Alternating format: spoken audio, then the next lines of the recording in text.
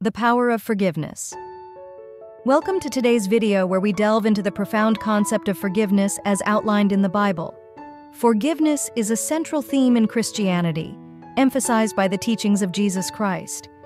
In this 10 minute message, we'll explore what forgiveness truly means, why it's essential, and how we can apply biblical principles to practice forgiveness in our daily lives.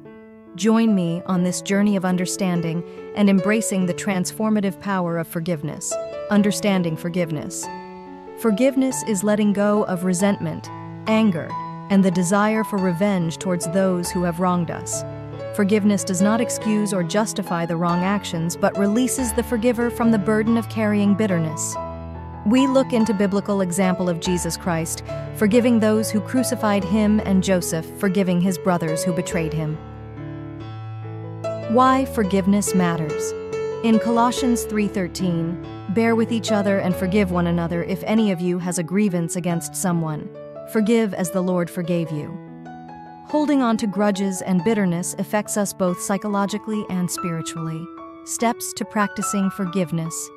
A forgiving heart includes reflecting on God's forgiveness towards us and extending that same grace to others, choosing to forgive even when it's difficult recognizing that forgiveness is a process, releasing the need for justice, and trusting in God's ultimate justice. Forgiveness is primarily, but it gives us inner healing and peace, overcoming obstacles to forgiveness.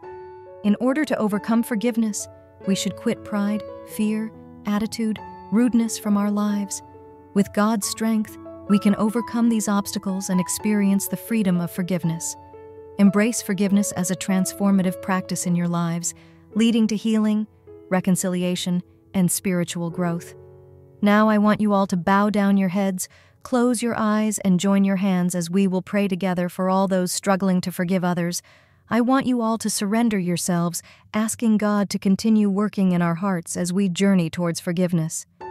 We should trust God that He will transform our lives for the opportunity to seek forgiveness and extend grace to others. I want you all to remember those who did wrong with you, and it's been so long you haven't seen them or talked to them. I want you to pick up your phones and call them as God has transformed your soul and see the peace of God you receive after that.